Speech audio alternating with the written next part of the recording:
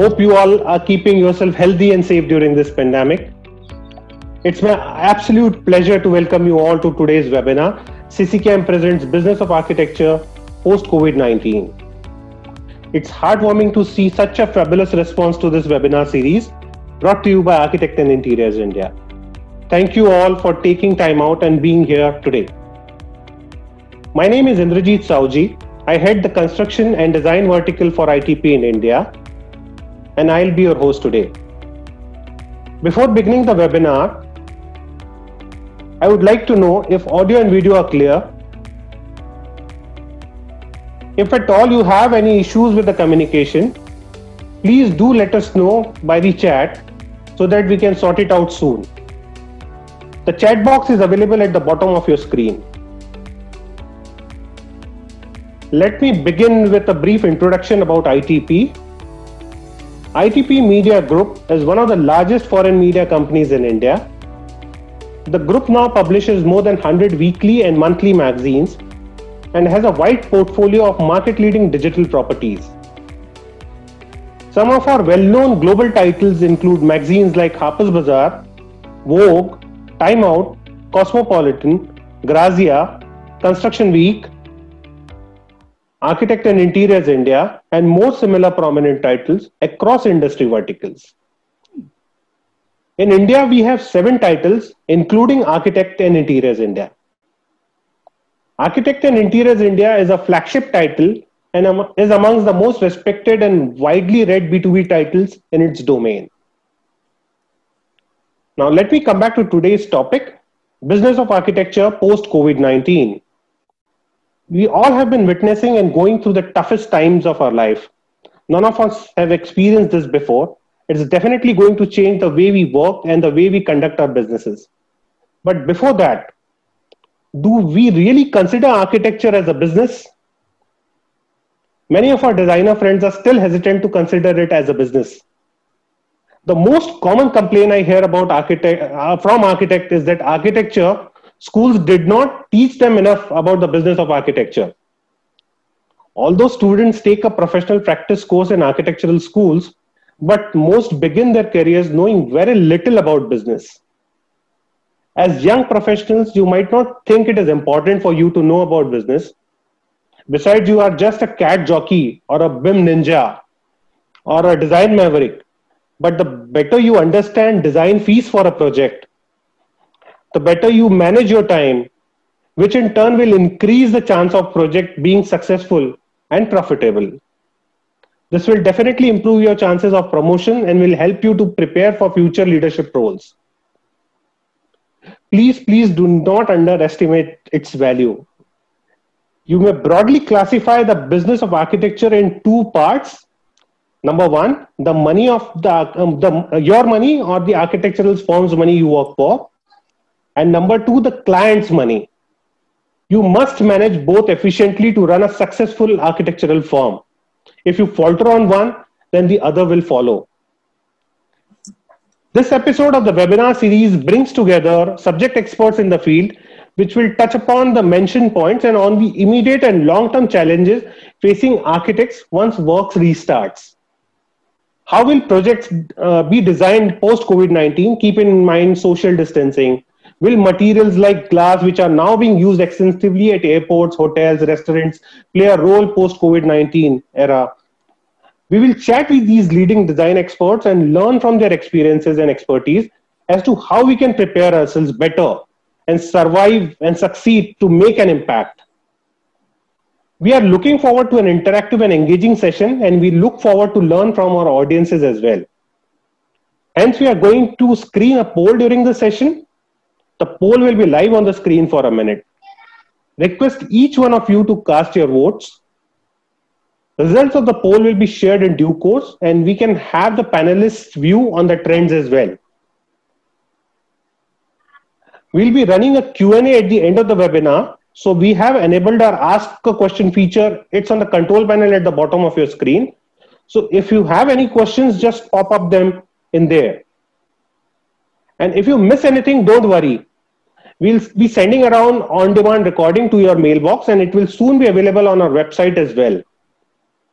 In case if you wish to come live and pose any questions to the panelists, you may do so by clicking the hand icon in the control panel and my team will get in touch with you. We'll try to take a few live questions and we'll try to answer as many as possible if the time permits. Without any further delay, let me introduce our partner for today's session, Şişecam Flat Glass.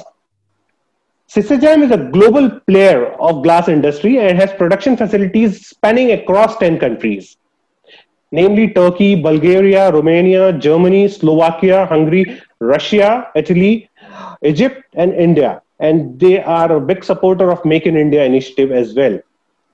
Şişecam operates in four main product, uh, product categories consisting of architectural, automotive, solar energy glass, and glass for home appliances.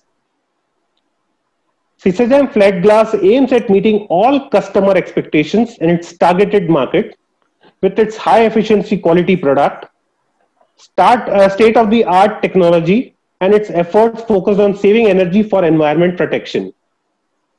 Thank you, Şişecam, for partnering with us and helping us rake up this most pertinent, pertinent issue that the design industry is facing today.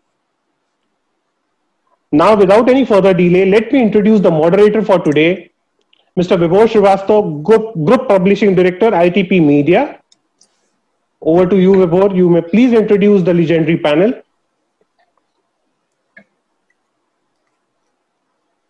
Well, it's uh, thank you, Indrajit. That was quite a introduction. I think you know we've been to lots of webinars, but I think that was a very crisp and nice orientation, the do's and the don'ts. And what do I say? An extremely legendary panel that I see: Husna Rahaman from uh, from Bangalore, Supriya Thyagarajan, Perkins, and Eastman, Vivek, very dear friend, Karl, and all these panel need no introduction. I think all the audiences have got, you know, many mails introduction about them. So I would rather use this time to make sure that we talk about a subject which is so near and dear to all of us, and the subject which really has triggered multiple emotions, questions, uncertainty, uncertainty, uh, uncertainties, and we still don't have the answer. But how can I leave? And Esra, I just wanted to come back to you because you already started working, and in India, just about uh, you know unlock one that has started, and there is a lot of apprehension in the country, and you can see on the faces as well that people they're all very eager to listen to you, uh, in in spite of the social distancing and the kind of product company that you are, which is like world known and most famous. What is your view? How would projects take off? How would people work? I mean, would you like to shed some light? Yes, Esra. Thank you, Vibhor. Thank you, everybody. It's a pleasure to be here with you. Uh, actually, I'm in Istanbul and uh, so happy to be with Indian architects and architects from all over the world. Uh, I would like, I have a small presentation. I would like to share my screen first of all. Okay. So can you see me clearly now? Uh, actually, we are experiencing uh, difficult times all over the world. I sincerely hope that you and your loved ones are safe and healthy. As the largest flat glass producer of Europe, we continue production in our factories all over the world, including India. Uh, we have uh, we have sales in more than 110 countries. Uh, we responded to COVID immediately as carrying our work to online digital platforms. And we continue to give glass consultancy for architectural projects as we did before COVID. Now it's time to redesign our daily life after recover. The only way we are getting closer to a COVID 19 free world is the proper practice of social distancing. At Şişecam uh, Flat Glass, we have got a clear cut solution that's a glass apart.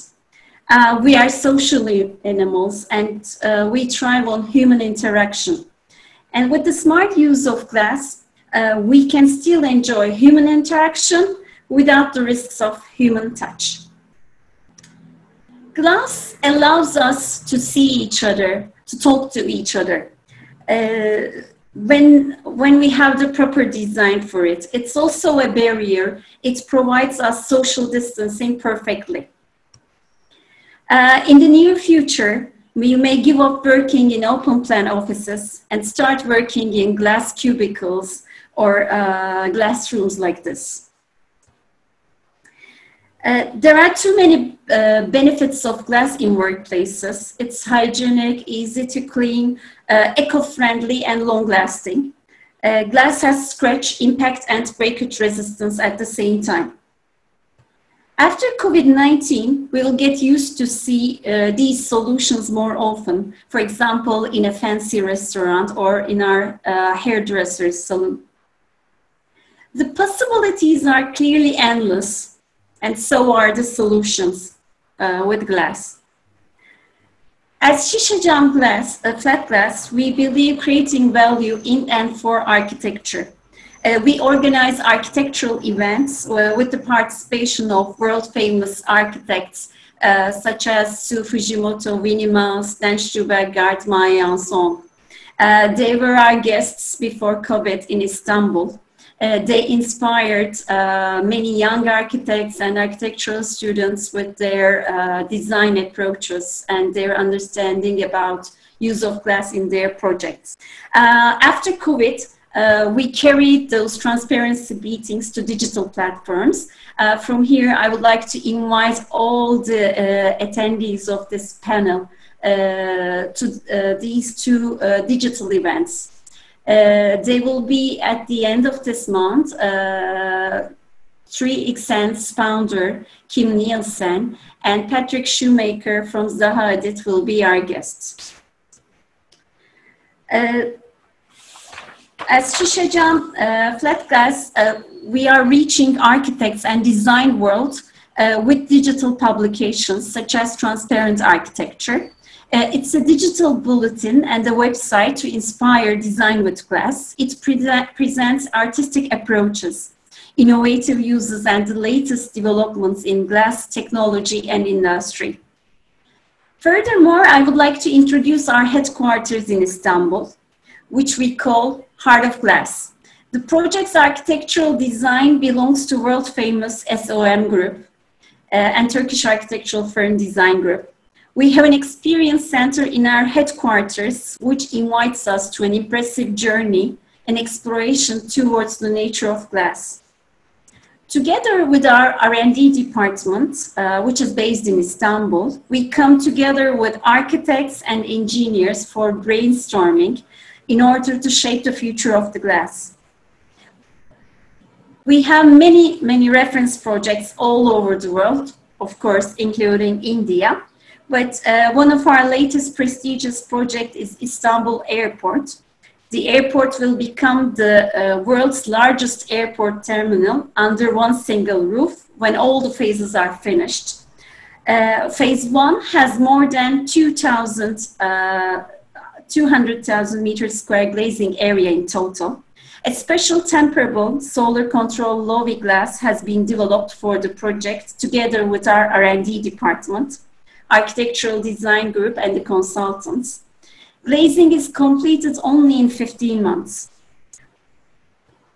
So uh, I would like to invite you to our headquarters and experience center in order to develop innovative ideas together like we did uh, before COVID and after COVID.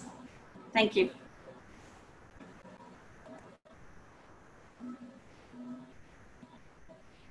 Thank you, Esra. That was quite quite an elaborate one. And I see my team says that a lot of people have joined it in in the interest of the audience. Uh, let me just quickly walk you to the panelists again because uh, they should know, and a lot of them people have joined now. So we have Vivek Gupta, Principal Architect, Arvind Vivek and Associates. We have Karl Wadia, Senior Associate, uh, Architect Hafeez Contractor. We have Husna Rahaman, Principal Creative Director, Fulcrum Studio. And then we have Supriya Thyagarajan, Principal Director, Perkins and Eastman. So audience, that's a quite a lineup. And as you see, there's a lot of excitement. You've gone mute before. Thank you. This is something that I'm still learning. so bear with me. So I was I was saying, you know, it's a, such an interesting topic. Uh, Vivek and Karl and Husna and Supriya, we all work together and said, what do we do? There's so much of talk happening about COVID, but nobody's talking about the solution, the positivity, the road ahead. And that got us thinking, what kind of a panel should we do, which will give this session, uh, from this session, the audience will have a big takeaway. So we have a boutique firm like Husna, and we have large firms on the other side like Karl, Vivek, and Parkinson. So you get a huge aspect. So audience, you'll get a lot to understand and a lot to really learn from this. So let me get on the straight in the question. And you know, be prudent for the audience to also understand each of the panelists, where do they come from, a certain background. Of course, everybody knows them, but hear it from them. So I'll just do this to the panelists. All of you have earned a great degree of success in balancing your personal design philosophy and the client's needs.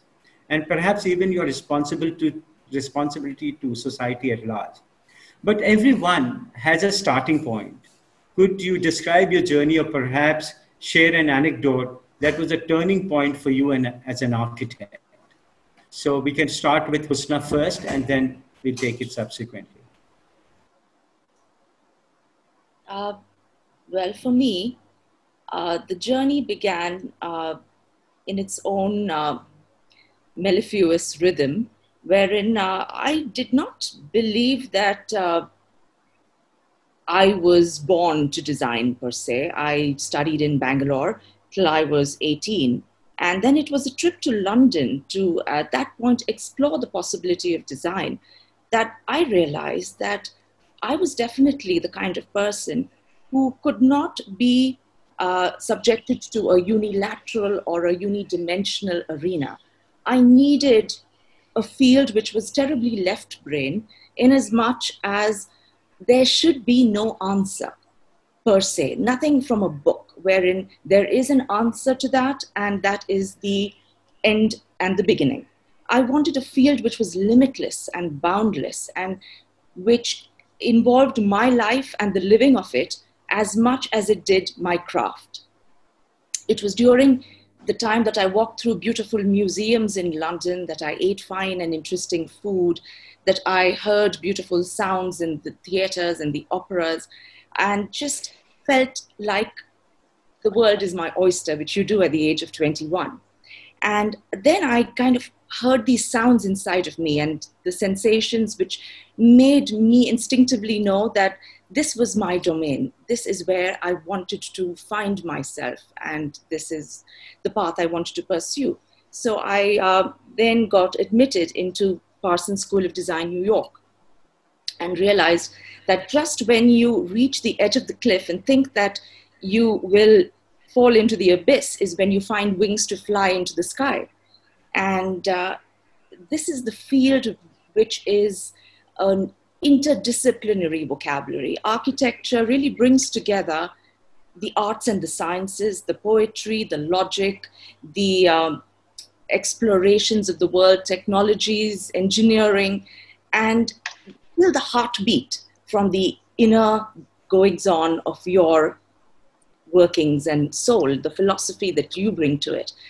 And uh, given that it is this immense world, then which drives your art and your lines on paper, I, I, decided that this is where I want to spend my time. And with each year, the portals have just become more immense and uh, more exciting because it's been 20 years. But uh, every day I wake up and I feel like uh, there is further to go and there's more to learn uh, just the endlessness and the infinite capacity of what it can offer you and how it can explore your inner being. I want to surprise myself. I want to wake up and say, Who am I today? What can I learn today from? Uh, you know, people in my field, from someone in the office, from a book that I read. Will a poem be able to inform how I draw? Will a conversation with my seven year old and his curiosity feed into my life? So uh, it's these tentacles which really evolve into that being, this, you know, alive and growing and searching being that I find extremely replete with magic and with motion and emotion. Wow, wow, wow. Fantastic. Wow. Absolutely brilliant, you know, endless, limitless. And people who don't know, actually, Husna is a very, very good writer herself. You know, that's so before I have to say, I have yeah. to say, architecture's game has been literature's loss. looks like writing a book, Vivek. Hang on. Yeah, I, I, can imagine. I can imagine. I mean, after this poetic uh, kind of introduction, I find uh, whatever I'm trying to say or do oh. is absolutely pedestrian. Mm, I'm, I'm sure still, anyway, I'm still waiting for that life to take that one turn where suddenly I feel that I can play God. But all I do is that I love the profession that I'm in. I think architecture is one profession where the the there is manifestation is a form, is, is, is a physical form, uh, which often outlives the creator which is the best thing. Every day, as Husna said, is a new day. You wake up as a different personality because of the project that you're doing, the client that you are uh, working for, the climate that you're working in, the context that you're going to be uh, dealing with. So I think there is a new morning every day for an architect. And that newness of the profession has, has kept us going, you know. There is no falling into the groove kind of a thing that happens in the life of an architect every day is a challenge. I'm not saying that other professions don't need that challenge, but this challenge is something that at the end of it, when your professional efforts manifest, I think they manifest in such a beautiful form. Uh, mm. Beautiful in the sense it is uh, it is beautiful for the client. It's beautiful for for your own self sometimes, uh, and that manifestation. I think that gives you the power. No other profession has that physical manifestation you know, a surgeon goes on repeating the same, a gastrointestinal surgeon will yeah. do the surgery for the stomach every day.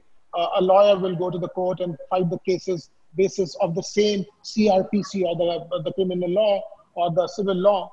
Uh, a chartered accountant always deals with numbers and everything. I think architects are the only people who deal with a new subject every day, with a mm-hmm. new client literally every day, with a new climate or a context every day, and at least in every project that they're doing. So we are lucky guys. So I, I, I also I also want to say uh, we are like uh, uh, alongside with the architects, media guys as well. no, no, continue. I just want to say we are also the lucky ones. That's about it. I can't be as uh, um, wonderfully elucidative as uh, Husna has been. What, no, no, but very good. But uh, Vivek, uh, I think audience would also like to know some of these secrets. You want to share that, or you want to keep it later? Secrets of what? Uh, in terms no of your your start your starting point, you advocated an it's, architect. That's fine. Everything is fine. Anything that you wanted with? It's been accidental. I spoke about it. It's been accidental. I was supposed okay. to be doing my masters in the US. Unfortunately, uh, we were graduating around Operation Blue Star time. I couldn't submit my thesis. My admissions for my masters were in place in the US. I couldn't go. I was at a loss. I had never planned life. I didn't know what I was going to do. And um, I come from a very small place called Bikaner. There was nobody could even pronounce architect. Yes, this is all what we want to know. Yeah, yeah. Yeah. So that's how I came to Delhi. I started my practice without any agenda, without anything, uh, without knowing how tomorrow is going to be. But I was at it. I was at it. The only thing I understood very early in life that uh, you know life is not cherry pickings. You know. Uh, and architecture is not going to be a low hanging fruit. I will have to work assiduously at it mm-hmm. all with all my might. And I think I've said this that the only compliment till now I've got from my wife is that I never gave up. I never gave up really. I just went on doing whatever I was. Super, doing. super, super. Never give up. Karl, you want to do a quick one? So I don't know what to say after Husna and Vivek have put it so eloquently. I think they speak for all of us. But uh, uh, for me, uh, frankly, I come from a family of doctors, and you know, being the black sheep, I just I couldn't see myself studying anything really. So architecture was by accident, just by the love of doing art and fooling around. So I'm happy to be here. And uh, the turning moment for me was frankly, uh, you know, when I failed in my second year. I got thrown out of college for you know hosting a strike and you know oh. copying in an exam and doing all sorts of things. But that was great for me. This is super i would say. Sounds familiar. I, I met so, my wife because of that. I landed up at Hafeez's doorstep because of that, and uh, since then not looked back. Uh, frankly, uh, I love uh, you know doing anything to do with the built environment. So working in Hafeez's office at that scale keeps me completely motivated, and uh, you know having him as a mentor, uh, nobody can ask for better. So I'm happy. Mm. Well, Karl, so much to, uh, to learn about you. Wow. So that was tremendous. I'm sure a lot of people don't know. I, I'm knowing it for the first time. Uh, Supriya, would you like to share some of the sure. secrets like this? How does architecture happen to you? Again, it's it was not by choice. Um, uh, my mother's family comes from four generations of uh, people in the construction industry, and um, so for her, she was the one instrumental in in sort of making me choose architecture. But I think it was my educational uh, experience, both at undergrad and graduate school, uh, that sort of defined how I saw myself contribute to the built environment.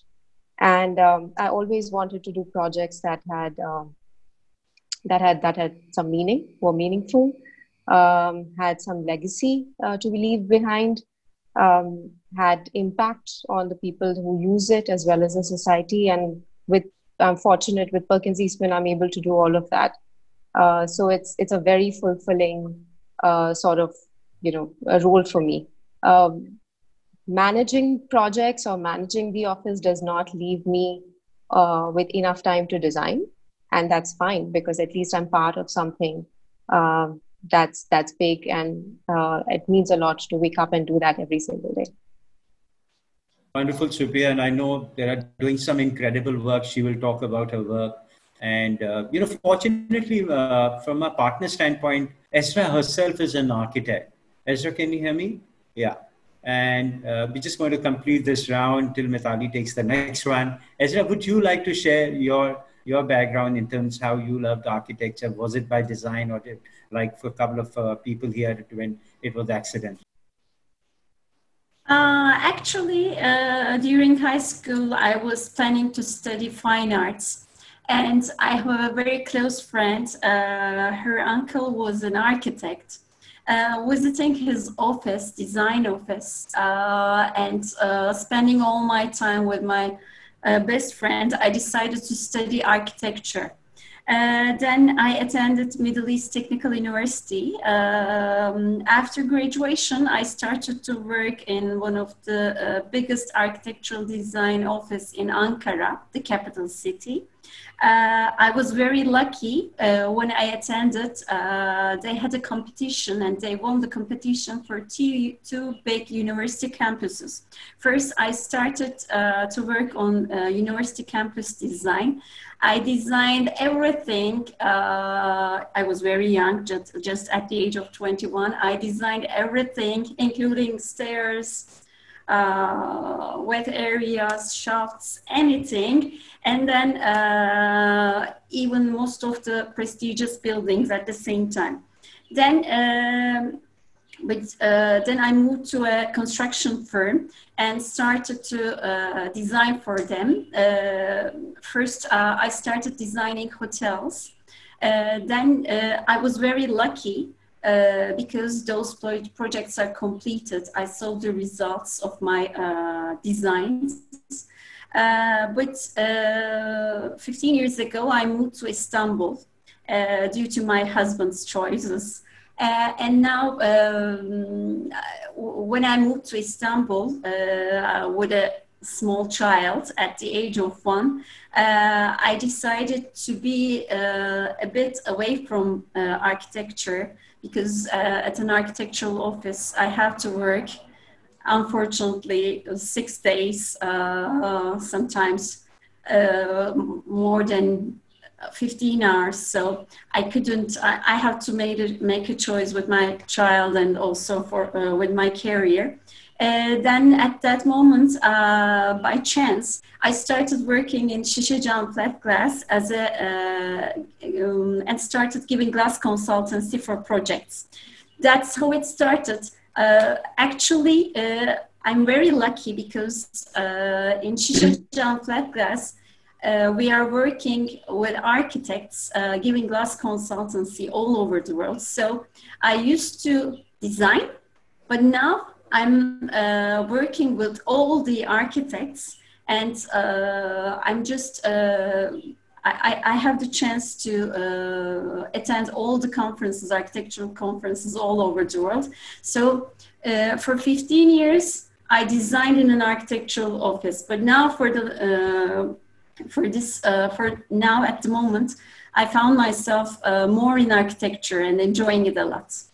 Wonderful, wonderful. Thank you, thank you, everybody. I think that brings us, uh, in the sense, to a, a, kind of familiarity and also some of the hidden things of, of, each of the panelists and how things happen to them in the design.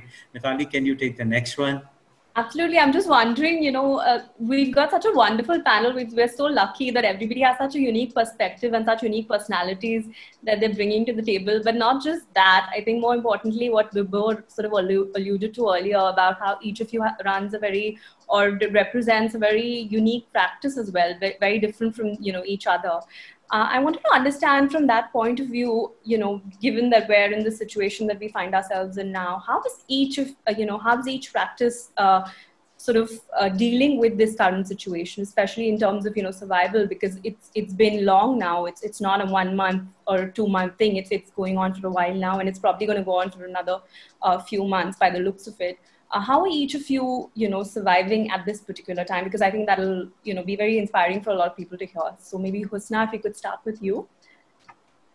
Survival is a many-layered um, demon in, in this time, isn't it?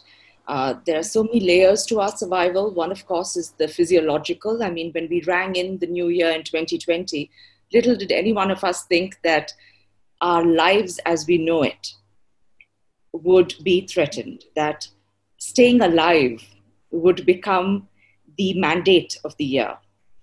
Uh, that's the physiological reality. The psychological one of survival, I think, has far deeper implications in that people's lives have been torpedoed. And the disillusionment, the anxiety, and the despondence that comes from that requires to be managed. So whether it's yourself, the people who work with you, or the larger realm and circle around you, I think responding to heightened um, sense of disorientation is a very key emotional component of our survival. There are people I know whose spirit has triumphed. There's a lady, Fatima B, who walked 1,500 miles to fetch her son from Andhra. And I think that's when you see the human spirit just face every obstacle and come out uh, absolutely luminous. And there are times when people's expectations have plummeted to the extent where their lives have been marginalized to the extent that they've been unable to cope and done absolutely uh, unmentionable things, dark things on a panel that, uh, you know, we're talking about now, you know, what the extents to which people can go. So there's this sense constantly of survival on those two levels, which I think very important before we actually talk about the economic aspect of it, because it's only when we clear these two hurdles can we actually face the third. So when we're looking at the economic aspect, I think it's just a, a matter of, like we talked about earlier, hopefully we've nurtured our craft as an art rather than a business. And have we done that and sown those important seeds of creating a body of work which has the ability to withstand the hard times? Uh, then I think that we are in a position to hopefully be positive enough to think that uh, we might just survive the onslaught. Uh, the ability to have uh, realized right from the start that yes, we learn the business and the business will follow, and the accounts where I'm concerned, and all the very other aspects of the public relations, the marketing, all of that will fit into place or not. But if you can go in there and do what you do and create something with every inch of your being every single time, uh, then perhaps you have enough right now to be able to say that it might sustain you or still bring the client back with uh, the ability to think that you can do more and further. Uh, so I think it's it's testing all of our emotional wills, but uh, on an economic spectrum, we are cogs in a wheel, and we need for the momentum to be built all around us for us to spread that bounty. And uh, being in the residential sector, I personally feel a little more buoyant because I think that homes now have come to become our universe. They are more than places to live and relax, they're places to work, they are schools for our children, they are centers of wellness, they are places to see the sky and interact with the birds and feel all that you can be. So uh, I'm hoping that that will uh, allow people to realize that we need more in our homes and that spring of um, residential work will continue its momentum forward. Right, lovely. Vivek, if I could sort of come to you after that, uh, you know, the, very interestingly, Husna's, uh, you know, said that uh, your resolve and just, uh, you know, the resolve to stay positive and take things one day at a time, essentially, uh, you know, and, and sort of build on that. Um, do you look at it similarly or, you know, what is your approach to the whole thing? You know, I've lived my life, Mitali, that there is no tomorrow because tomorrow when it comes, it's today. So I've lived my life like that. So I actually have never planned anything in life. And I live for the day and I take each day as it comes. So basically, this last, whatever, 70, 80 days, uh, to be honest, I haven't upskilled myself in anything. I'll be very honest. I've, there is there's no room in me. My mind is a monkey. I, I just can't concentrate on trying to upskill myself. But what I've been able to do is to reimagine, to recalibrate, to reinvent a few things that I already knew, you know, in a manner that you have the luxury of time, perhaps, the luxury of not really time, time I always had, but luxury of staying in a place physically to be able to enjoy those things, you know. So uh, things that were always seen uh, in the kind of the rear view screen I'm able to focus on them today. So that's been the revelation of the last uh, few days. What I've been able to do is reinvent things that I always knew or I always wanted to do, but didn't find, uh, as I said, not because of paucity of time, but uh, mind being a monkey everywhere. Now I have nowhere to go. The mind has everywhere to go, but I don't have anywhere to go. So I am forced to uh, engage with the things that I would rather engage than to let it go and wander everywhere. So I do a lot of cooking. I've been looking at the plants. I've been, uh, luckily, we have a beautiful terrace garden. I planted some, not me, but the Mali had planted some beautiful vegetables, which I actually used for the initial part of the lockdown when we were literally every day we were making food out of the vegetables that we had uh, grown in the terrace garden. That also made me think, as I said, I was saying earlier, that you know, for me, getting out of the house, incidents, people, memories, things, they trigger emotions, and that emotion is my architecture. I'm a very intuitive architecture architect. I do not plan. I do not study. I literally do not know any other architects excepting friends who are architects. I have no idea about any international national architect, no big names, nothing.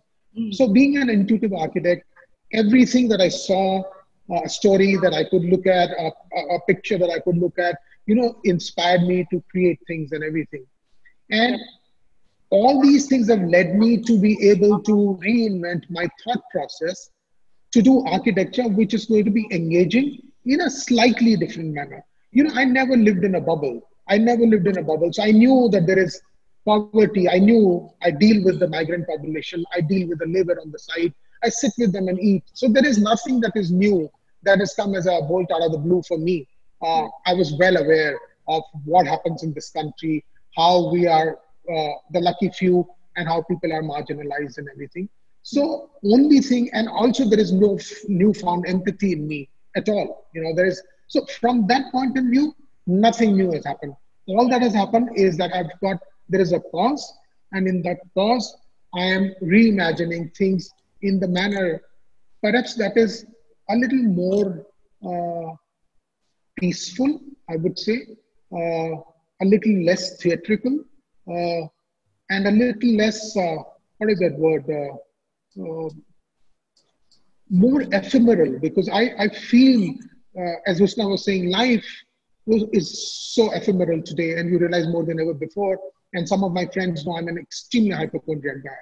The only thing that I'm scared about is is is life per se, because I say you are not born with anything. You can always so even your architecture that's there in you, you will always be able to create better architecture through learnings that come about in everyday uh, uh, life, new challenges that come through your architecture, through your project, through your clients and everything. Because architecture is a response, and as long as you have challenges, you will respond.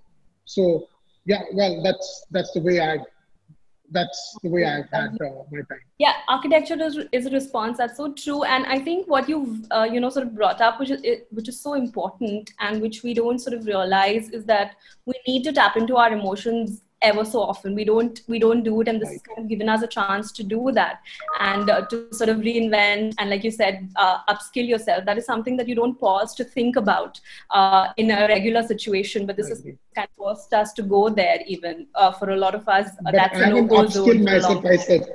I haven't upskilled myself you know. Somebody wanted me to share the screen yesterday when Vibhu was saying I said sorry I can't even do that. So Oh, fair enough. Fair enough. Karl, what about you? Uh, do you sort of, uh, you know, fall into that same zone? Are you because each of us has a dis- different response, and as a practice as well, you have a very different response to this, to the situation. How have you, you know, worked around it? I think our challenges have been very different from what was just explained by Vivek and Husna. Uh, primarily, uh, the, I, I would like to split these challenges into personal and professional because uh, from a personal point of view, you know, I live in uh, Worli Prabhadevi, Mumbai, which is probably the hotspot not of Mumbai but the whole country. So you know, we live live in a block of flats. Uh, there are issues within the apartment complex. There are issues of neighboring buildings getting locked down. Uh, you know, I've spent a lot of time personally on the on the managing committee of the society, doing stuff. You know, preparing rules and regulations for garbage removal and this and that, which I never thought I would do. So that's on the personal front, mm-hmm. while also worrying about you know kids at home and you know all of that.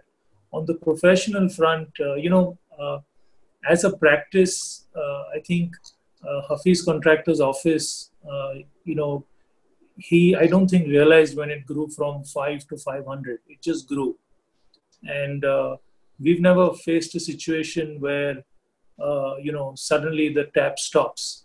And uh, you know we have we're still responsible for 500 people. Uh, it happened in the month of march where you know people expect something new for the you know for the next year. Uh, uh, you know and the tap stopped and you know there's a lot of personal things that we had to deal with as a practice on and you know put your individual requirement aside. That you know that's way down the list but you know a lot of people on the on the edge who you know are paying EMIs for their car and vehicle and all of that you know a lot of people on the edge. So so that's taken up a lot of our time. But when it comes to the practice i think uh, nice things have come out of this lockdown. We found new ways to work. Person even used a single day in the last three months and uh, you know if, if that continues i don't see why we're going to need paper going forward. Uh, we found different relationships between uh, you know me my boss Hafeez or my you know my colleagues in the office. We figured out which wavelengths match each other. So you automatically realize that you know some people that you didn't spend so much time with in the office suddenly you're spending more time with them because the wavelength matches and on the e platform you know uh, everyone's been able to contribute where people say that you can only do it in the office but i mean we found that it's worked quite well here as well. And the most important thing is we're also designing differently. Uh, you know looking at this whole migrant pop, you know migrant problem labor problem in the country you know being more sustainable. We started thinking about design in a much more different way. You know can it be done with less labor uh, you know, can it be done? Can it be built in the factory and brought to the site? So it's made us think differently. I mean, to me, this uh, three months has been a fantastic learning curve, and uh, for I think people with that mindset, uh, they you know I hope that they will just come out of this much stronger. Absolutely. Lovely. I mean, that's such such an interesting perspective, and I think Supriya, you will probably, uh, you know, have something to add to that because you also represent a very large firm. Uh, sure. How do you, how have you dealt with it? Is it similar for you? And also, uh, very importantly, the labor issue that Karl just alluded to. Uh, could you maybe throw some light on how you are dealing with that particularly? That would be an interesting, uh, you know, sort of point. Um, so mean, we we run a thousand people practice, so the the challenge is is bigger. Um, it's more complex, uh, but we've also had the history because we are a forty year old firm about certain recessions, you know, that have happened in the past. So one learning, one big learning, was over the last recession, uh, we lost a lot of talent to other industries, and that talent never came back so, this time, consciously and proactively, we're trying to keep our young talent engaged, um, motivated, and connected. Um, and working from home, all of that is a big challenge. But some, but fortunately, technology has supported. I think more and more of uh, the leadership's time is going in making sure that people talk to each other. The projects are going on. So engagement uh, with the young staff uh, has been very crucial. Second is engagement with your clients. Uh, we have been going uh, sort of approaching clients to be to offer support in this time. These are difficult times, and any kind of professional help that we can offer. A lot of our clients are in healthcare sector. A lot of them are looking to convert their existing facilities to uh, deal with this pandemic. Um, a lot of our um, work, you know, talent is at the forefront dealing with this uh, COVID pandemic in actually in New York City. We're working with the healthcare providers there. We're trying to help some of our clients in India. I think all of that is given us enough uh, energy, motivation, and constant engagement is, is helping us move forward. So the lockdown doesn't feel like a lockdown. It feels like you're actually doing things every single day. Um, and a lot of energy is going into that. And it all feels very positive um, it all feels uh, you know extremely um, in, a, in a positive light talking about the migrant worker issues i mean i it's a much larger problem and i don't think architects can solve that uh, in any way but one of the ways that our clients have very successfully uh, managed to keep a lot of their uh, uh worker staff on on ground was to give them um, enough food sanitized space to stay and information uh, information about this pandemic and virus saying that stay we'll take care of you. Uh, you will have work you will have money. If you try to leave and go back and you know try to rush to get back it'll be far more dangerous for you and i think they've successfully managed to keep 400 families on on site and have started construction work already at full swing right now so i think these are just learnings that you know we can all have uh, but the larger issue is uh, is far more complex that you know we don't we don't think we can solve single handedly. I think it's a much complex issue. Absolutely, we can only try and get. Sorry, Mitali, I just want to interject here. I just want to tell you. Yeah, Vivek. Sorry, I just wanted to interject here, and because there's been so much of din and noise about helping the people, and you know, I've been saying this on various forums now, and various people were asking for things to do for the workers and everything. I've been saying that charity is not going to do anything to it. It's empowerment yeah. that's going to do that. Correct. COVID or no COVID. I mean, we are in the construction line. When we go to the site, we go and see our site and nothing else. I think I don't know how many of us actually go to the labor camps because each site has labor juggies over there. How many of us actually go? I'm thankful to the government today that there is a compulsion for having those portable toilets.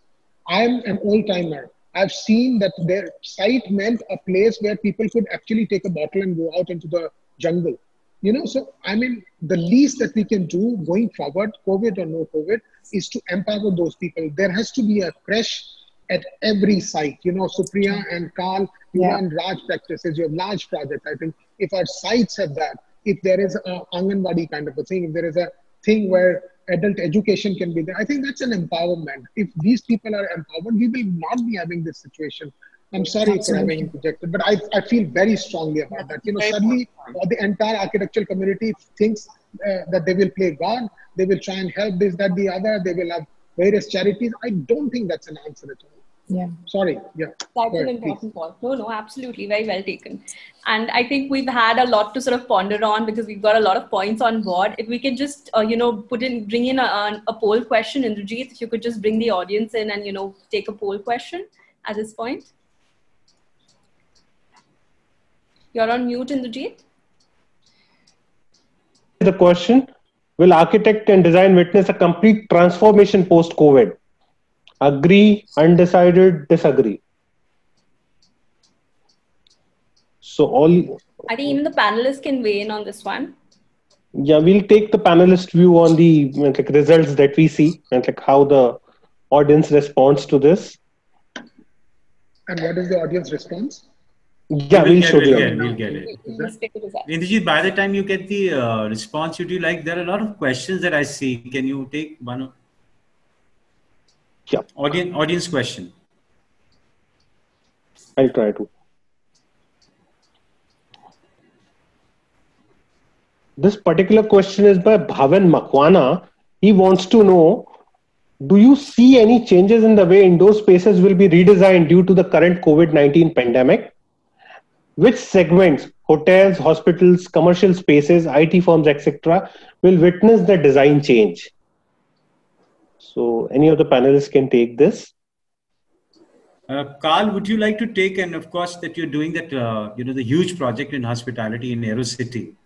and I think audience would also like to know. It's like almost like. So I think uh, yeah. it's a good question. The uh, to be to be very honest, the maximum change will be seen in in uh, in project segments where uh, you know people are visiting, so hospitality, and where uh, I mean, let's understand one thing. I mean, you know, social distancing and putting up glass here and there is also to some extent a privilege uh, in projects that can afford it. I think in, in a lot of uh, you know housing projects and this and that, you're not going to be able to afford this privilege. So I think in hospitality, in in uh, in in workspace, we will see more change. Uh, but in, in housing and all, I think the change will be very, very less. I feel that housing, the main change is going to be, you know, every builder who sold uh, a two and a half bedroom kind of a thing as two bedroom and a study. Uh, that that that part of the house is going to take center space. You know, this work from home or no work from home. You know, we may get back to new normal, but the provision to be able to have a place where your kids can have online schooling, your uh, your you yourself can have work from home, your kids can have work from home is going to be an extremely important. That private space is going to be extremely important. Already, um, uh, furniture manufacturer are toying with the idea of coming out with pods and everything, which you can place with your own acoustics, with the connectivity and everything. So I think that part of the housing segment is going to take um, a new meaning. I also feel, and I've been advocating the fact that, as I spoke in the beginning, that vertical gardens, you know, just because you're living in a flat doesn't mean that you can't have a patch of green in your balcony it does not mean that you can't grow a little bit of vegetable or something like that. Uh, there are enough examples in this entire world to have vertical gardens in your balconies, have a little vertical uh, uh, uh, vegetable patch or something like that, which allows you to be able to, in times like this, have at least a little approach to to survival. You know that kind of a thing. So that's the other thing that, that can come about. I think the important thing, as as I would like to say, is that the mindless materialism that had come into our into our uh, way of working, you know, that needs to change. It's not the design approach, but the whole thing about you know you want because you have so many companies, you have so many vendors, you have so many explosion of material. You want to this, so that also as an architect, you they become your tool of expression and I think that needs to change. That had led to mindless materialism. You know, something if you can do with a simple white marble, no, you want to try a quarry in Egypt or you want to try a quarry in Italy or, or, or wherever, Greece, and you want a particular kind of a marble. And that really didn't add much value to your project or design, but it was there because you're an architect, you're playing God, so you want this material, that material. I think that mindless materialism has to go out of our business. we need to rethink on that basis. You know, just because we are allowed that blue sky thinking doesn't mean that we have no uh, nothing to hold us back, rein us back. It's time to let the ideas get reined back in reality, in reality, and in the realms of of physical, physically uh, reachable. The the supply chain is to become shorter. We have to start working with a much shorter supply chain when things are within your control. And I think that's what is going to lead to a project uh, implementation faster. That's going to benefit both the architect, the architect, the client, and the project. Thank you, Vivek. Uh, there is a follow-up question to this from Jayesh Vora from Jaipur. Uh, he wants to ask to all panelists, like glass being a transparent material, will it be the future product post-COVID? What's your views on like that particular like, aspect? It will. Yeah, Karl says it will. It is. It is. Uh, I don't want to be the first one to answer this question. it is an important material. But but the big man is saying yes. You know, I, no, it is. I mean, glass is, is, yeah. Problem. I think glass. As I was saying, the mindless uh, use of glass in this part of the world. Yes. Uh, disregarding the orientation. Uh, I also feel that it's become an easy tool for architects because architects don't have to do anything. The moment any part of the building goes into a shop drawing and not a working drawing, I don't consider that architecture. And the moment you're talking about structural glazing, it's a shop drawing. It's not an architect's domain. So I don't consider, honestly, if you ask me, I don't consider glass as part of, of an architect's vocabulary at all. It is there as a prerequisite because it allows you a puncture to be able to look out. But no, it's not your domain because I do not know the quality of glass. I do not, as an architect, understand the the uh, what the properties of glass. It's you know when somebody says the U value, this value, that value. I really, honestly, do not understand. All I know that it gives me transparency. It's for the air conditioning people. It's for the acoustic people and all that to know about the glass. So something which is out of my domain, not my tool, not my cup of tea, not my vocabulary. You know, uh, in terms of uh, glass, uh, I think in the early part of the 20th century, where you had Mies van der Rohe, uh, he was the third director of the Bauhaus, and you know all the uh, modernist masters who came around that time set up this vocabulary of using at that time glass as a very unique material, tubular steel, and that became the metaphor for the international style, the new way of design, and that became extremely ubiquitous because people were then creating these glass boxes irrespective of context or climate or indigenous material. So a tower in, um, you know, in Sydney would look the same as the tower in uh, Bombay or in, uh, you know, Chicago. So all of this then just started to become a way to express a commonality. Well, today, in fact, that commonality has given way for indigenous and unique expression. In these times of isolation, you actually want a habitat for yourself that reflects, hopefully, more of who you are and less of the common thread that people have been using to universally create a language of design. So people need to find their inner voice, and in you know, like the monks go away into the hills, the Tibetan monks, and you, this time of uh, hibernation and uh, just incubation has hopefully created an expression wherein more of who we are has come to the fore. And that expression will then be unique, and each person will have his and her own voice to express it. So uh, I think glass will have an expression in as much as it's valid in the uniqueness of its landscape. Um, just going back, I, I want like to, to make a. Sorry Sorry, I just Sorry, want to make one point. Sure, Going back to the question of how things will change post COVID or materials will change, I think uh, one thing I think you know, all of us are actually uh, pointing out to that point is sustainability and well being will no longer be an option.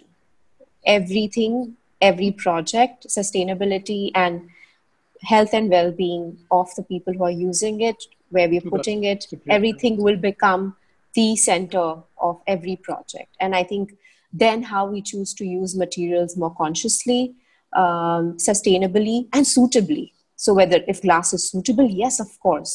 but if it's not do we really want to use it i think that's things i think that focus will change um, and it has to i don't think it's an option anymore to say we'll layer on sustainability later i think it needs to start uh, right from the beginning Absolutely. i agree with sorry uh, Esra yeah. Sorry sorry Esra ah, that's okay. Who's speaking? Sorry. uh, actually, actually uh, okay. Uh, I, I didn't want to answer uh, immediately because uh, I believe that glass is a miraculous material and my answer will not be objective due to my beliefs. So, uh, but thank you for all your uh, sharings. Uh, I would like to also answer one of the questions because one of the attendees panel, asked us, what about natural daylight? actually, I didn't mention in my um, presentation because I believe that uh, this uh, panel is about interior architecture. That's why I didn't mention, but let me make an addition. Uh, actually, human health is very, very important, and natural uh, daylight has a big role in human health. Uh, before COVID, we were spending 80% of our lives in buildings. After COVID, probably it is uh, much more. But uh, there are numerous research about natural daylight. Uh, and for example, uh, in education buildings, uh, the, um, the success of students are increasing when they enjoy the natural daylight. the patients at the hospital, their their uh, amount of medicine taking, the, the, amount of medicine they're taking are decreasing uh, when, uh, when they're having natural daylight. Same as well for shops. The sales at the shops are increasing due to daylight. So daylight is extremely important in our lives. And uh, glass is the only material uh, which provides us natural daylight. It's a barrier between uh, the outside world and uh, our buildings. And uh, there are various solutions, uh, various types of products according to your project needs. So, of course, I mentioned during my speech uh, about uh, responding COVID immediately in our daily life in buildings. Uh, but uh, we are continuously uh, giving glass consultancy to projects in order to uh, offer the right glass solution. So uh, I think I already answered question of Krishnan Rama. Sure. I, I, you wanted to add something, yes. Uh, Vibhor, see, glass as a material, first and foremost, it's an inert material. It's the easiest to clean it cleans itself you know when when rain falls on it. Uh, we all choose to sit near the window in a house.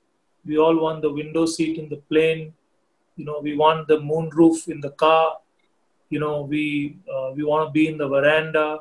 We are hardwired to respond well to the to the natural environment. And glass is the only material that allows you to be as close to nature as you possibly can. So yes, Vivek, just give me a minute. So, absolutely, you're right. glass allows you to be as light, no glass, as you possibly can. But having said that, it, this does not mean that you just wrap a, a building in glass. I think that used to be the case. Architects have learned more and more about glass over time. Uh, uh, we are taking biophilic design extremely seriously uh, doing a lot of studies of various orientations, what to use, to use. Uh, for example, we're doing an institute now where the classrooms are inside and the corridors are outside because the site is such that the only way to place a building is east-west, facing east-west. But the, I, I, I mean, I absolutely don't agree with the fact that we need to demonize glass. It's a fantastic material.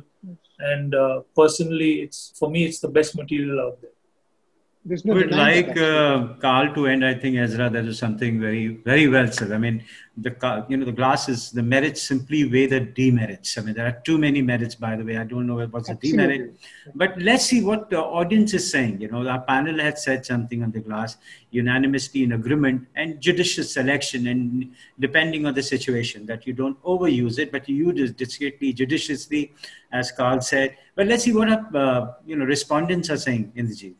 Yeah, uh, Rohan, can you show the poll results, please? Because I just want to get their sense.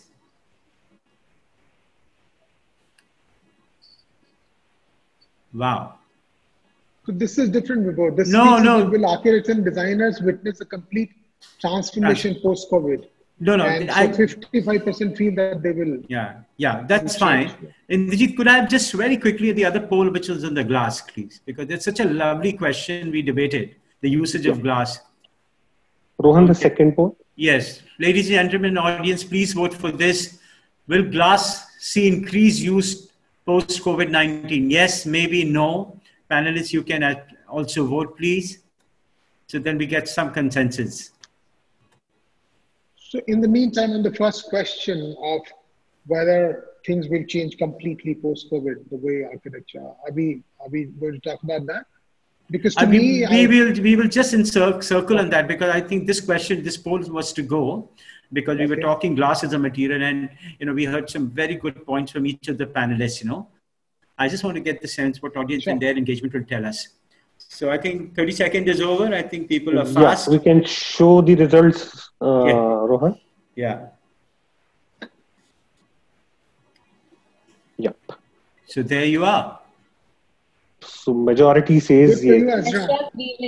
Yeah, so that echoes that echoes the sentiments of most of us. And I mean, I for one, of course, love glass for sure. Uh, it's all around, behind me, or everywhere. And I agree with you as well. There is a lot of daylight. Uh, Supriya mentioned about the wellness, and definitely by using this, you really achieve that. So I think now I'm going to very quickly go back and, uh, you know, one thing which I really want to touch upon uh, is finally is collaboration the way forward? Can practices pool in their expertise to shine? Or is design and build a better model going forward? So I, I know I, I, will be getting uh, all kinds, but let me just take one uh, very quickly from Vivek. And uh, let's keep it brief, uh, ladies and gentlemen on the panel. Uh, uh, is collaboration, Vivek, your smile tells it's very mischievous all the time. No. so go ahead and be mischievous. Yeah. I think it's time the architects take owners of everything that they do. You know, for far too long we've been shying away from liability. For far too long we've been ceding ground to other uh, uh, uh domains. You know, the PMCs have come, they started eating up on our uh, thing. And we, we have also started falling back and not taking owners of things that we do. Um, I think it's time for an architect to start building like a master craftsman. That doesn't mean that I'm not for collaboration. I'm saying collaborate with everybody, all stakeholders, but be the one who calls the shots. You know, because the whole process of collaboration, if it leads to betterment of a project, for faster implementation of a project, and everything in synergies, then it is all right. But the moment you start collaborating and everybody's singing a different tune, and your job is to then get everybody on the same page and then start constructing, and then there are delays, and then the PMCs are blaming you or the client is not paying the contractor and things like that. And the project cycle, the construction cycle increases for purely for that region. Uh, for that reason, I am not saying that collaborations are the best answer. I wish an architect's office start having all disciplines within their office. I know it's not possible, but Karl, I don't understand. I, I do, do not know about Perkins and you guys.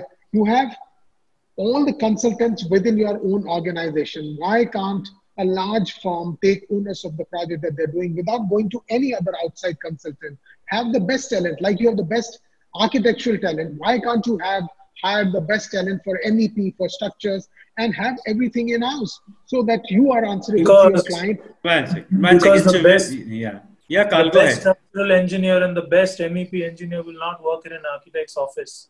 If he's smart, he'll go and open his own office.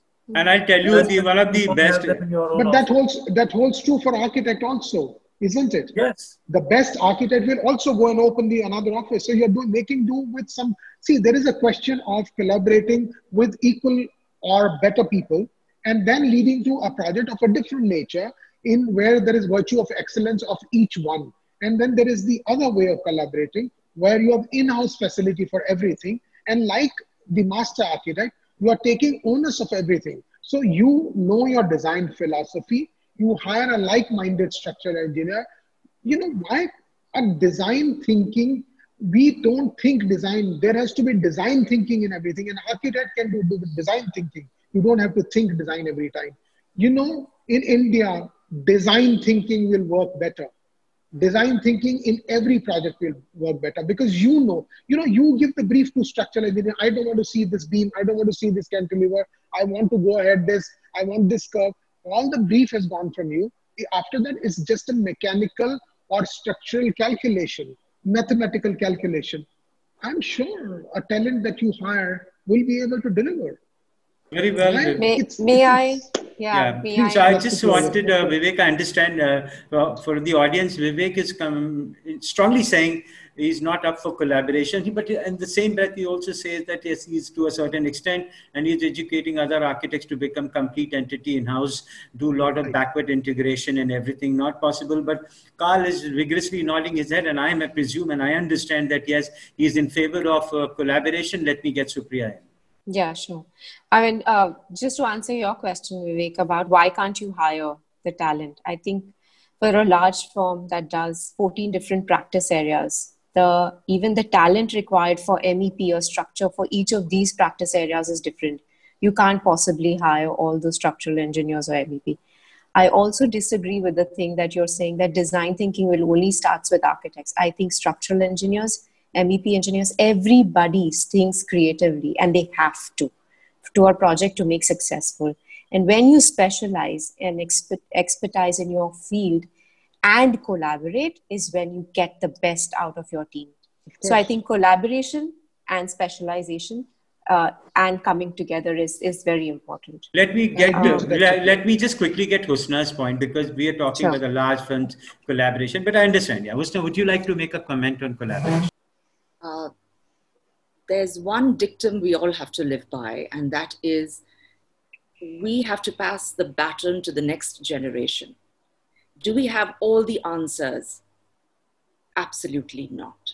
To think that we sit in our offices and we wield the power to know all the information it will take to move into the new world with a new paradigm might not be assessing ourselves in the best light.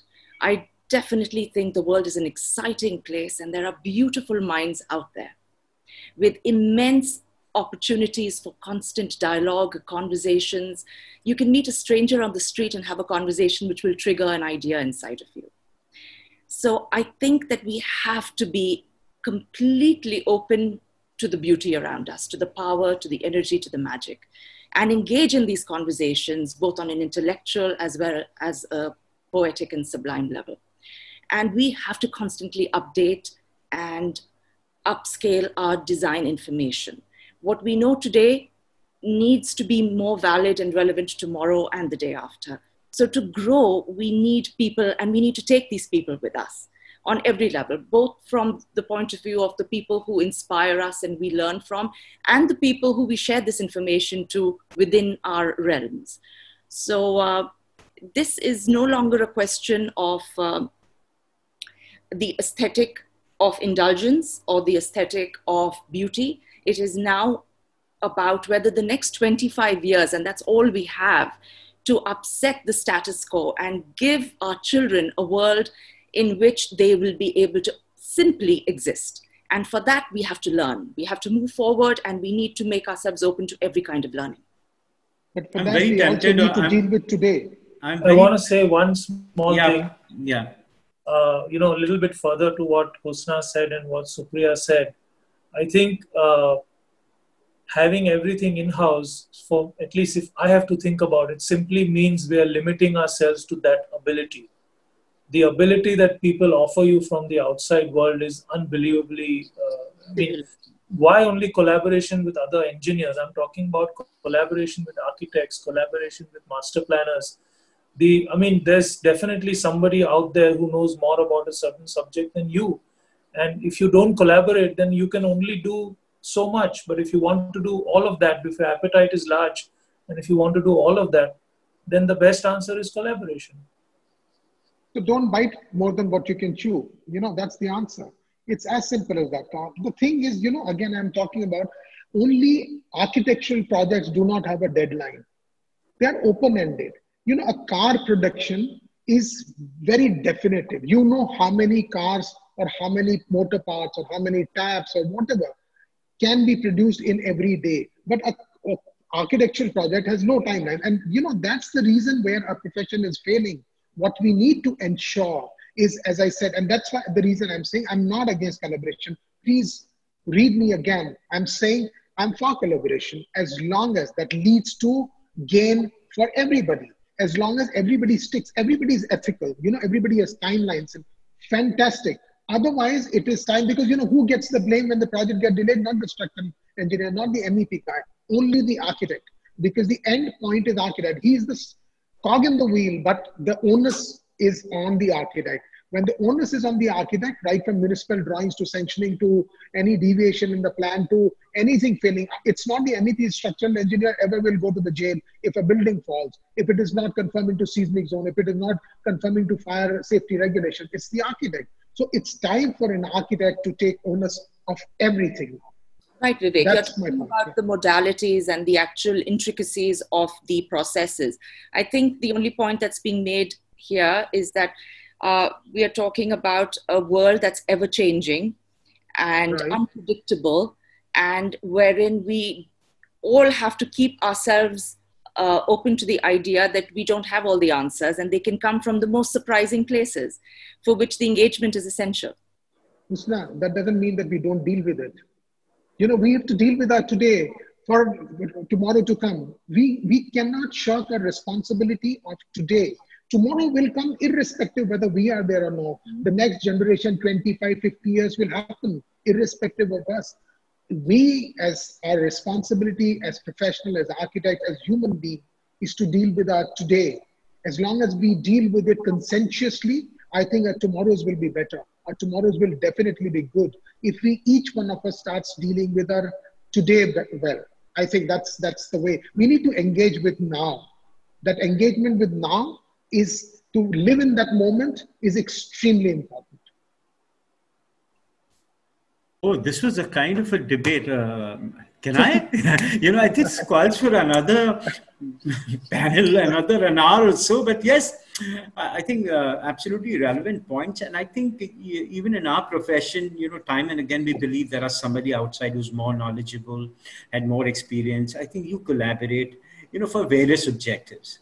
And if you are a one entity who's completely in command, like somebody in the chat said, you know, architect, if he gets a full control, uh, then only design and build, otherwise, no. Right? So, uh, well, we can go on talking and, you know, debating on this, but let me just quickly try and the, you know, the, I can also see the time. And uh, do you want to take one question from the audience? Because a lot of people are reaching me my WhatsApp phone and everything. You want to take this one? Otherwise, they'll feel very bad. You are mute. You are mute, in the Indrajit. And this is the power of collaboration. Take everybody together. To get these people sure. who are 93, 17. We are talking something, doing something. I don't want to ask. Let these guys ask in the audience. Please. Yeah, this is something interesting. It's like I don't know where is it coming from, but uh, this like the name is not mentioned. But they want to ask: Will architect as a profession exist after 2025, a couple of years down the line, with uh, uh, AI, technology, and moreover, the Supreme Court ruling allowing uh, anyone who, who who wants to design can practice architecture without a degree. So, will architecture as a profession exist after a couple of years? Oh boy! Oh boy! Who wants to take it? Listen. Uh, are not architects, and some of the most amazing minds of the world, whether it's Frank Lloyd Wright, Mies van der Rohe, Peter Zumthor, Tadao Ando, they don't have an architectural degree and they are people who you know we look at with nothing but awe so like i said right at the beginning architecture and architectural degrees are two very different things and it's the living of a very rich life beating uh, uh, you know, and marching to a rhythm inside of you that's completely, uh, you know, lofty, that really creates the architect and not necessarily the, the study of a practice or the following of any kind of dogma or dictate. So, Karl, would you like to make a comment here? Husna obviously said. A requirement for shelter. Hmm. The architect is inside of you. He doesn't come with a shiny law, a degree. Yeah. So I think my, my answer, I will just say in one sentence as long as you can remain relevant, your profession will also remain relevant. I love these one-liners, man. Do you have another one? So I really want to say that audience, we collaborate. We are collaborating with you. Anybody else? Uh, there are 90. You don't take everything, man. But we have no, I guess it's like we are running out of time, so you can like uh, take an opinion from the panel and. Yeah, yeah, yeah, that's right. So I think you know there are. This is just getting richer, warmer. Excitement is just coming up, and I can see you know, panelists have also warmed up. And uh, thank you, Vivek, for bringing, bringing that little amount of disagreement, which is always healthy. you know, not every time you say yes to everything. POVs, POVs, POVs, yes. All right. So, you know, I'm just loving this and, you know, to love this, uh, to moderate this session. But let me get back, you know, when we started, I started people, all of you come from unique practices and there has been a certain uh, thing that we wanted to drive this conversation to.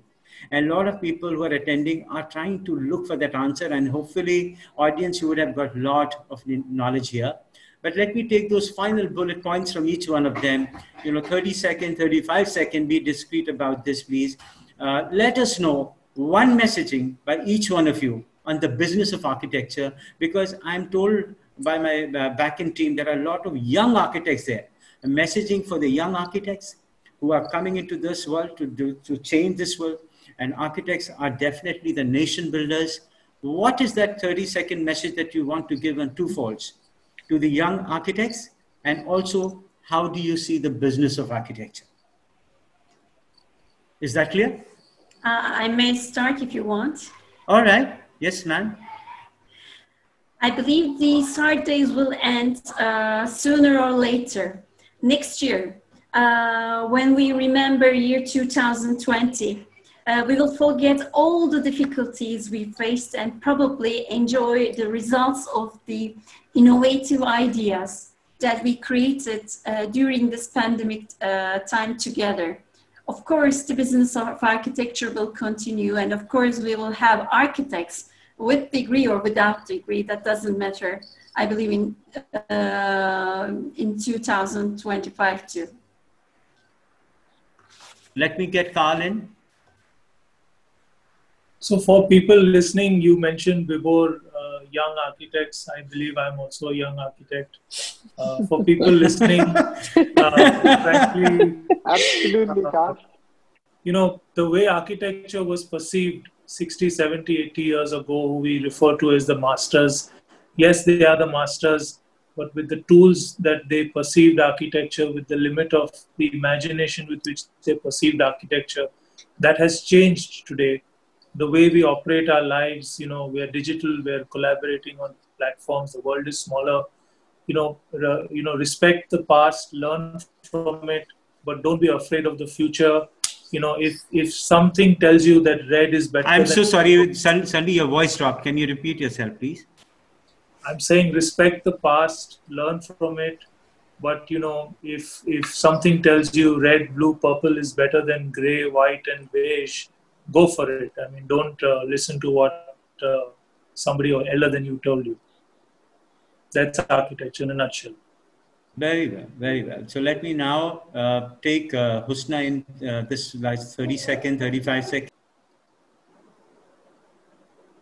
Make your dreams bigger than yourself and be prepared to fall, be prepared to burn, be, get, be prepared to tumble, be prepared to protect them with all of your being.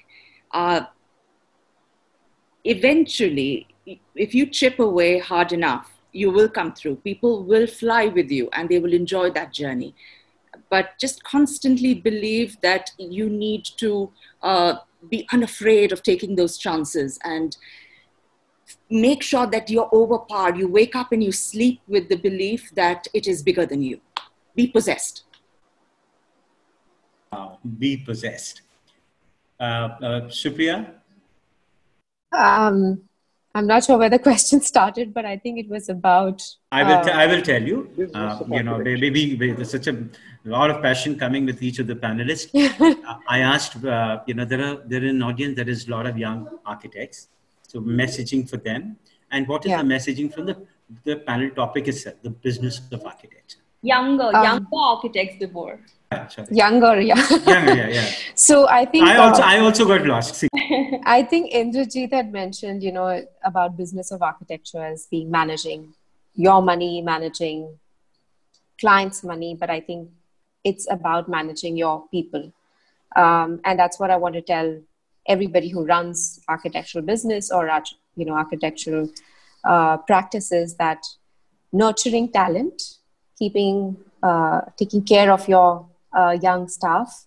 And managing talent managing resources is what the business is about. Once you have a team that uh, feels nurtured feels creative feels taken care of the product that comes out of it your clients are happier your your products is much nicer. So i think uh, more than managing money more than managing your uh, fee it's managing your team and managing your talent um, and uh, for all the young people or younger people out there, I think you should know that that's what we want to do. As as people who run these businesses, we want to take care of you and your talent. So that's a company which uh, you know I, I mean has about thousand people working for them. Vivek, I, I saved you for the last. Go for it. Architecture is not a business. It's not a business. It's an emotion. So to everybody, to all the young people out there who think that architecture is a profession where you will make money, I've said, and I'm saying it again, it's not a low hanging fruit, it's not cherry pickings. You know, you have to be in this emotion with all your heart and with all your dreams. I always say, heart is supposed to be very fragile, heart breaks, but heart is pumping away 70 times a minute till you die. Dreams are extremely resilient. Dreams are what take you to another level. Dream is what you need to do to become a successful architect. Don't don't treat architecture as business. There are no there are no what you call as uh, balance sheets in architecture. You know the, the the the joy that you have of seeing your building uh, nobody who makes money can show his safe or his bank account to people and say this is the money that i made working but an architect can pass around and go and show a building to his generations, to his friends, to his family, every time he passes by and say, this is the building that I created. I think the joy of being in that profession outbeats any profession that you can be in. So treat architecture as an emotion and the emotional wealth that you will have will far, far outweigh any other wealth that you can earn anytime in your life. And there is enough money to be made in architecture. All the panelists here are uh, proof of that, excepting me, I think. Rest everybody, yeah. So, so yeah, that's my that's my giveaway. As somebody who's practiced the only one with the skylight. Sorry, somebody, somebody Vivek said. I said you're the only one with the skylight. I know, without a glass. you know, you know I tried to create an artificial halo around me because there was none. we make do with windows. I tell you. Gee. Yes, Vibhor, you were saying something. No, I was saying, well, you were saying somebody said very interesting. Great said, sir, with a lot of emotion and passion. Yes, ladies and gentlemen, uh, one and a half hours have gone and we still want to go ahead and we can go another half an hour, one and a half hours. But yes, at, at this point of time, I would like to conclude. I want to thank my panel for extremely, you know, uh, you know, discussing and being with us, spending time with us, and sharing their knowledge and wisdom here, and completely speaking from their heart. I mean, they come from large practices and very established, uh, you know, people in the discipline. But what they spoke, they spoke truly of their heart. And Esra, uh, ma'am, you rightly said, when we meet in 2021, we enjoy working together, being innovative, ideas. Architects with degree, without degree does, does not make any sense. You have to do what you do at best, and you should have your heart there. And um, I think um, then we heard about that world is a smaller place. respect the past, embrace the new. And Karl said, be ready all the time experimenting. It is not important that you have to have one tunnel vision. Keep, keep your blinkers on all the time, learn from each other, work together. Large practices definitely need to collaborate and get the best brains in. And then I think uh, Husna said, dreams make bigger, believe and be unafraid and try and do everything possible. Don't limit yourself. It will make your dreams bigger than yourself. And um, um, Supriya, you come from really a large corporate firm and you really looked about people. You say it's not money is not important. Clients are definitely important, but what is paramount of importance is that we need to take care of our people. And I, for one, absolutely wholeheartedly agree that you take your people together, nurture them, yeah. take care of them. They are the ones who will make the difference for you, for your company, for the society, and the whole world. So I, uh, you know, agree that manage your resource. They will show you the way. They will show you the winning. They will show you the dollars. Whatever you want, you want it. They are the ones. They are the key to the success.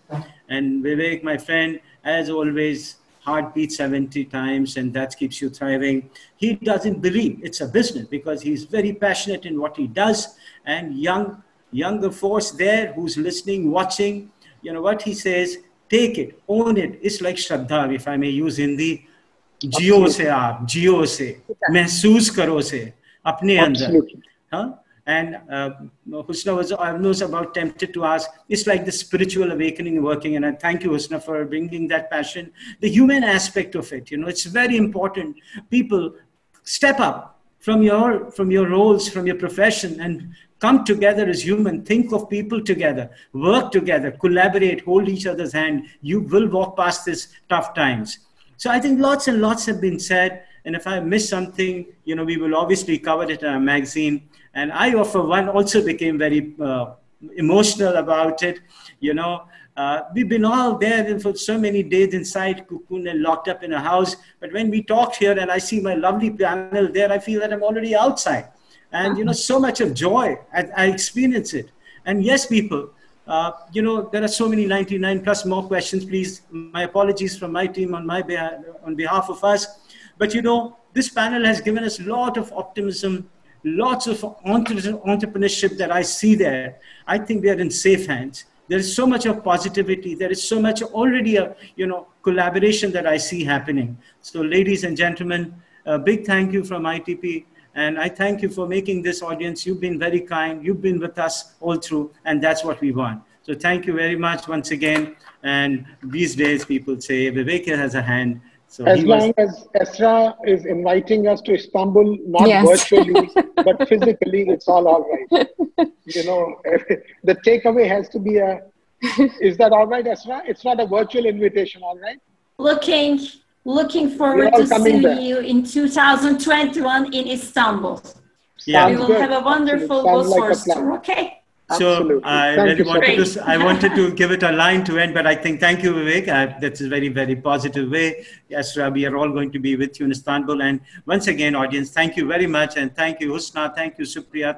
Thank you, Karl. Thank, thank you. you, Vivek. Thank, thank you, Mitali And my wonderful team behind, Rohan, and all the lovely marketing people, Mitali Vritti, for doing the damn good job to making the so many numbers come up. Thank you very much. Thank you. Once Thank again. you. Thanks, thank you so thanks, much. Thank you. Thank you. Thank you. Thank you. Thank you. Bye, guys. Wonderful session. See you again. See you in real time. Yes.